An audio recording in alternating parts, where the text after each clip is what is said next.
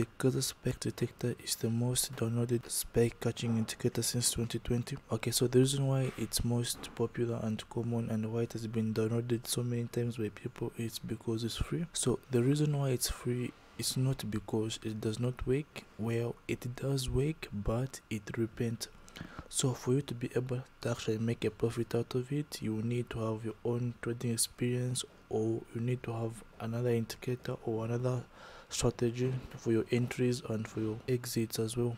But in today's video i'm going to be reviewing the spike detector and find out if it's still worth it to be used in 2022 if you'd like to try out this indicator this indicator you can actually download it for free. The link is in the description so before i explain to you what this indicator let's take a look at the features. So the Kaza spike detector will actually show you arrows when to buy and sell okay? And it will also show you these colors okay? It will also show you when to sell and when to buy. So the only advantage of the Kaza spike detector is that it also does work on one minute time frames but the only problem as, I, as i have said is that it repents so for you to be able to make profits consistently. You don't need to take the signals literally like you need to do your own analysis and enter trade not just taking the signals as they come okay? So to summarize or to answer the question if the Kaza spike detector is too worth it well the truth is all indicators work whether lagging or repenting but when it comes to the Kaza spike detector okay if you're still using it you can. If it's working for you you can continue using it.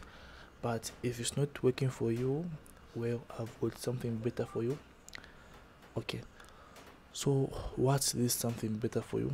So what i'm going to do is i'm going to go back to the 15 minutes time frame. Okay. So i want you to pay attention. Okay. So this is the Kaza spec detector and as i said earlier on i said that i've got something better for you if the Kaza spike detector is not working for you. But what i'm about to show you is actually not free. Reason is it does not repaint okay? And the signals are very accurate and it is more accurate than the Kaza spike detector. So the signals in the Kaza spike detector may may look good but they actually repaint. So this entry over here might disappear and come later so what i'm going to do is i'm going to click here. Okay so on top i've got the indicator code Kaza spike detector.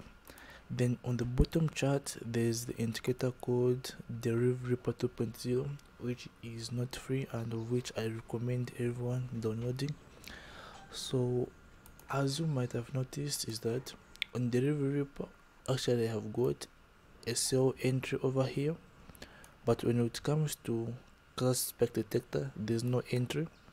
Okay also got a buy signal over here. But when you look at the Kaza spike detector there's nothing. Okay but when you look at the Kaza spike detector this is when we actually get a buy signal. And we don't have a buy signal in the derivative okay the reason is simple. Okay so let me just try to scroll again. Okay and we also have another signal over here. Let us check on the Kaza spike. Still there's nothing on the Kaza spike detector.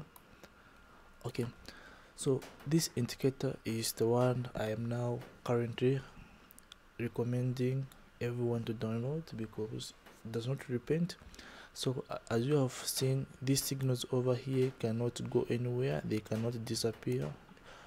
Once they are sent they are sent. They can't go anywhere. Okay.